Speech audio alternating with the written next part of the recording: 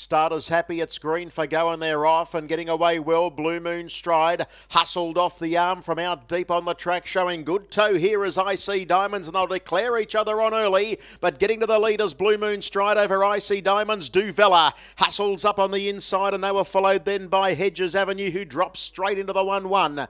Further back in the field, then as they leave the straight, as Belfast, Prophecy, Tack Maggie in the running line, and then Bronski Bell. Well back is our Millwood Maisie, and three wide and about to move from the back is El Yeah. First quarter was 27-3 and as they work into the back straight, the leader here is Blue Moon Stride. Shows clearly from Duvella. Around the outside, taking closer order is Tack Maggie. Works around IC Diamonds. Yeah follows it around. And then came Belfast, Hedges Avenue and Prophecy, who's third last. Second to last is our Millwood Maisie and last of all is Bronski Bell. They cast the 800 metre mark astern. 29-2 the split. 56 5 the half and down the back the leader Blue Moon Stride. Tack Maggie's at its wheel second. Duvella covered up the pegs.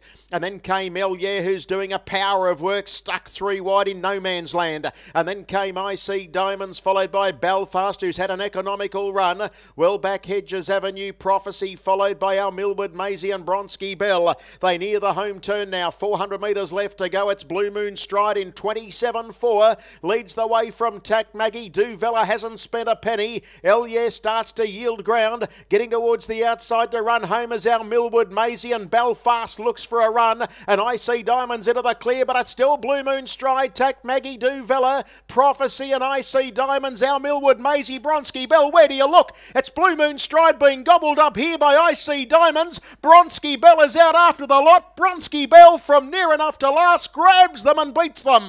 Bronski Bell beats IC Diamonds. Third's a camera. You got a wall of horses, including Do Duvella. Close up was Prophecy, Belfast, Blue Moon Stride.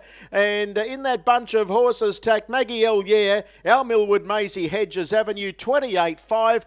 And the uh, time 152.2. And Bronski Bell, I reckon, has got it. It has with a brilliant turn of foot.